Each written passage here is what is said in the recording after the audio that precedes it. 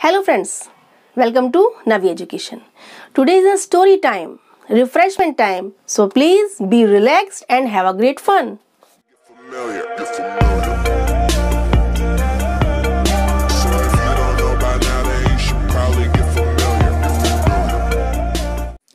चलिए स्टार्ट करते हैं आपकी स्टोरी एक बहुत ही फनी स्टोरी जो संस्कृत में है, लेकिन मैं आपको उसको हिंदी में ट्रांसलेट करके बहुत ही मज़ेदार तरीके से सुनाऊँगी। इसलिए ध्यान से सुने। मूर्खाय उपदेशम। व्यर्थम भवती। क्या मतलब हुआ इसका? मूर्ख को दिया जाने वाला उपदेश व्यर्थ होता है। कोई फुलिश पर्सन है, कोई मूर्ख व्यक्ति है, अगर उसको हम कोई अच्छी बात बताएँ, कोई हम उपदेश दें तो वो उसकी समझ में नहीं आएगा। बल्कि वो उसको गलत सेंस में लेगा और उसको दिया जाने वाला उपदेश व्यर्थ चला जाता है। उसी को आज मैं आपको एक स्टोरी के रूप में समझाऊँगी। कस्मिश्चित वने एक विशाल वृक्ष आसीत किसी वन में, किसी जंगल में एक बहुत विशाल पेड़ था। तस्योपरि अनेके खगाः नीडानि, रचयित्वा सुखेन वसंति स्म उसके ऊपर अनेके खगा अनेक पक्षी, खूब सारे पक्षी, नीडानी रचयित्वा घोंसले बनाकर सुखेन वसंति सुख से रहते थे, बहुत ही सुख से रहते थे।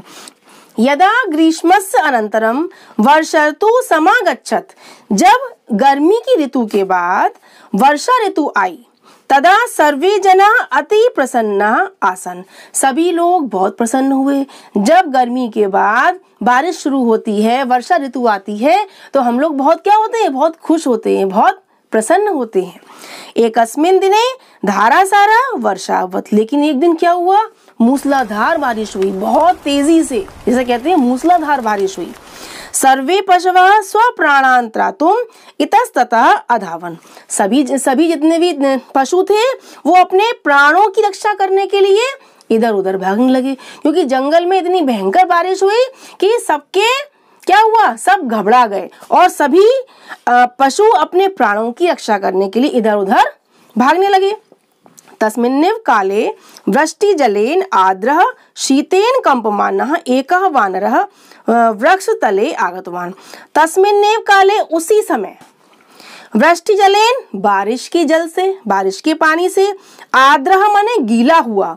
उसी समय बारिश के जल से गीला हुआ, शीतेन गंपमाना ठंड से कांपता हुआ एक बंदर, एक वानरा माने एक बंदर वृक्ष तले उस पेड़ के नीचे आया। जिस पेड़ पर बहुत सारे पक्षी रहते थे, उस पेड़ के नीचे एक बंदर ठंड से कांपता हुआ आ गया। तम ईदृशम दृष्टवा उसको इस प्रकार, यानी कि ठंड से कांपता हुआ देखकर। तम ईदृशम दृष्टवा उसको इस प्रकार देखकर, खगाह कष्टम अनुभवन। पक्षियों को बड़ा कष्ट हुआ, बड़ा दुख हुआ। पक्षी सोचने लगे ऊपर से जो जो देख रहे थे कि ये जो बंदर गीला होकर ठंड से काँप रहा है, उसको देखकर उनको बड़ा दुख हुआ।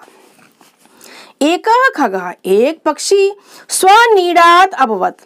एक पक्षी अपने घोंसले से बोला। तभी क्या हुआ? तभी एक पक्षी ने अपने घोंसले से बोलना शुरू किया। भो वानर हे बंदर तुम शीतेन कष्टम अनुभवसी। तुम ठंड से बड़ा कष्ट का, पीड़ा का अनुभव कर रहे हो। तुमको ठंड लग रही है, तुम ठंड से, शीत से कष्ट का अनुभव कर रहे हो। तुम किमर्थम स्वग्रहम न रचयसी। तुम क्यों अपना घर नहीं बनाते हो? जब तुम ठंड से काँप रहे हो तो तुम अपना घर क्यों नहीं बनाते हो? मनुष्यस्य इव ते अपि हस्तौ पादौ चसंती। मनुष्य के समान ही तुम्हारे दो हाथ हैं और दो पैर हैं। जब भगवान ने तुमको दो हाथ, दो पैर दिए हैं तो तुम अपना घर क्यों नहीं बनाते हो? ऐसा किसने कहा? उस पक्षी ने कहा। वयम निर्बल अपि स्वग्रहाणी रचयित्वा सुखेन निवसामा। हम निर्बल भी, वो पक्षी क्या बोला? हम निर्बल भी, हम पक्षी हैं, हम निर्बल हैं।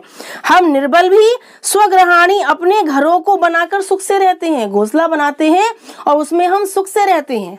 तो तुम अपना घर क्यों नहीं बनाते हो भाई? तस खगस वचनानी श्रुतवा। उस पक्षी के वचनों को, उसकी बातों को सुनकर स वानर क्रुद्धो भवत। वह बंदर बड़ा ही क्रोधित हुआ, बड़ा गुस्सा हुआ। अचिंतयत च और सोचने लगा। एकदम उसको गुस्सा आ गया और उसने क्या सोचा? ऐसा क्षुद्र जीव माम उपदिशति यह तुच्छ प्राणी। बंदर ने क्या सोचा? ये तुच्छ प्राणी मुझको उपदेश देता है। यानी कि बंदर को उस पक्षी का उपदेश बिल्कुल भी अच्छा नहीं लगा।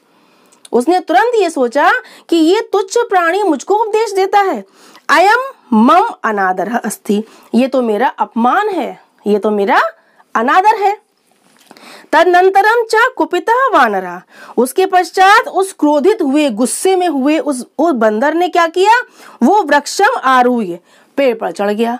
पेड़ पर चढ़कर खगानाम निडानी पक्षियों के घोंसलों को खंडशाह कृत्वा टुकड़े टुकड़े करके नीचे अक्षिपत नीचे फेंक दिया। उसको इतना गुस्सा आया कि इसने मुझे उपदेश कैसे दिया? तो ऐसी स्थिति में उसने वो एकदम पेड़ पे चढ़ा और गुस्से में आकर उसने चिड़ियों के घोंसलों को तोड़ फोड़ कर नीचे फेंक दिया। बेचारे पक्षियों के घोंसले टूट गए। उनको उपदेश देना कितना भारी पड़ गया। इसलिए कहते हैं, कभी भी किसी मूर्ख को फुलिश को कभी भी उपदेश नहीं देना चाहिए। कोई अच्छी शिक्षा नहीं देनी चाहिए। उसका परिणाम उल्टा हो सकता है, जैसा यहाँ पर हुआ। सत्यम एतत। ये सत्य है। सत्य ही कहा गया है, उपदेशो ही मूर्खाणाम प्रकोपाय न शांत उपदेश भी, अच्छी बातें भी, भलाई की बातें भी मूर्खाणाम मूर्खों के प्रकोप को, गुस्से को शांत नहीं करती हैं। मूर्खों का क्या है गुस्सा? अगर आप उपदेश दोगे तो भी शांत नहीं होगा बल्कि और बढ़ जाएगा। प, जैसे कि पय पानम भुजंगा नाम केवलम विषवर्धनम जो सांप होता है जो सर्प होता है स्नेक होता है वो दूध पीता है। क्या करता है? दूध पीता है लेकिन फिर भी उसके शरीर में क्या बनता है? विष। सर्प क्या होता है सांप? विषैला होता है, यानी कि दूध पीकर भी सांप केवल विष को बढ़ाने वाला ही होता है। वो दूध उसके शरीर में जाकर क्या करता है? विष बन जाता है।